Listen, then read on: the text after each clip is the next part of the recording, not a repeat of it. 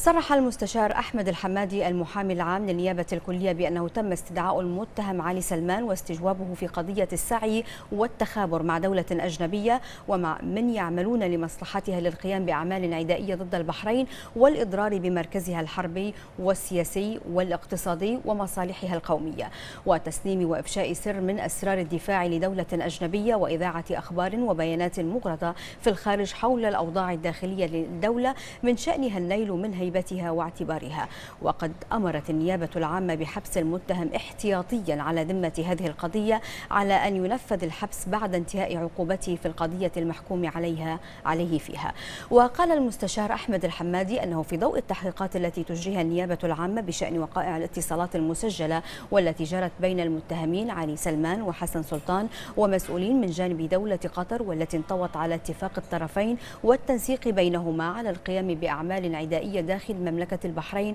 والإضرار بمركزها الحربي والسياسي والاقتصادي ومصالحها القومية والنيل من هيبتها واعتبارها في الخارج. ومن خلال هذا النشاط التخابري لهؤلاء المتهمين مع الجانب القطري فقد باشروا أنشطة عدائية داخل البلاد في التحريض على مواجهة سلطات الدولة باستخدام القوة والعنف والقيام بأعمال إرهابية. وقد تم تقديم تقارير تشير إلى مسؤولية هؤلاء المتهمين وتورطهم في أنشطة عنف وأعمال إرهابية وتمويل جماعات وعناصر إرهابية للقيام بأعمال عدائية وأن المتهمين في هذا الصدد قد تلقوا دعما ماليا من الجانب القطري مقابل قيامهم بأنشطتهم الضارة بالمصالح القومية للبلاد. كما تم رصد تكليفات من المتهم علي سلمان لأحد المتهمين للقيام بأعمال تضر مراكز الدولة ومصالحها القومية. وتكليف آخر يكون مسؤول اتصال مع الجانب القطري كما تم رصد العديد من الفعاليات واللقاءات والبيانات والأحاديث التي أجريت مع المتهمين من خلال القنوات الإعلامية القطرية.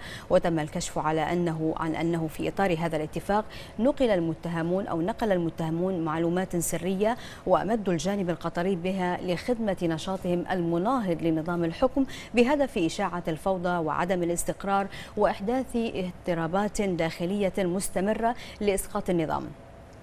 وكان قد شهد بذلك ضابط التحريات واثنان من شهود الإثبات اللذين اللذين تم كفالتهما بنظام حماية الشهود المقرر وفق أحكام القانون. وقال الحمادي أنه قد تم استدعاء المتهم علي سلمان واستجوابه بجلسة التحقيق اليوم في حضور محاميه ومواجهته بالأدلة التي حوتها الأوراق في حقه. وقد وجهت له النيابة العامة تهم السعي والتخابر مع دولة أجنبية ومع من يعملون لمصلحتها للقيام بأعمال عدائية ضد البحرين والإضرار بمركزها الحربي والسياسي والاقتصادي ومصالحها القومية وتسليم وإفشاء سر من أسرار الدفاع لدولة أجنبية وإذاعة أخبار وبيانات مغرضة في الخارج حول الأوضاع الداخلية للدولة من شأنها النيل من هيبتها واعتبارها. وأضاف أن النيابة العامة أمرت بحبس المتهم احتياطيا على ذمة هذه القضية على أن ينفذ الحبس بعد انتهاء عقوبته في القضية المحكوم عليها عليه فيها كما أمرت بضبط وإحضار المتهمين الهاربين